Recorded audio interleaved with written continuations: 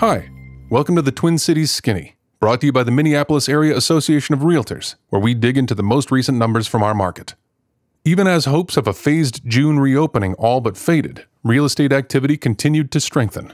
After double digit year over year declines in signed contracts for April and May, that pent up demand was unleashed in June. In the Twin Cities, June showing activity surpassed 2019 levels, while June pending sales reached their highest levels since 2004. The fact that demand is recovering faster than supply should mean stable pricing for most areas and market segments.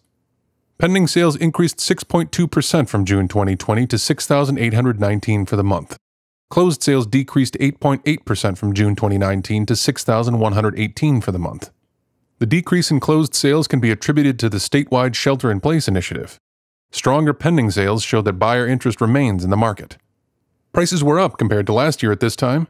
The median sales price increased 5.2% to $305,000. Prices are not likely to decrease at all this summer, as more and more consumers begin to show an interest in buying a home. Inventory levels market wide decreased 29.8% to 9,154 units. We will continue to watch and wait for inventory to increase. It could be a long wait.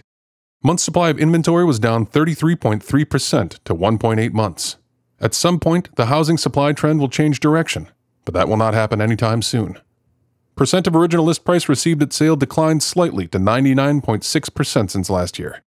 With fewer homes for sale than a year ago and lingering health concerns, sellers will struggle to fuel the growing demand. Record low 30 year fixed mortgage rates around 3.1% have further motivated buyers.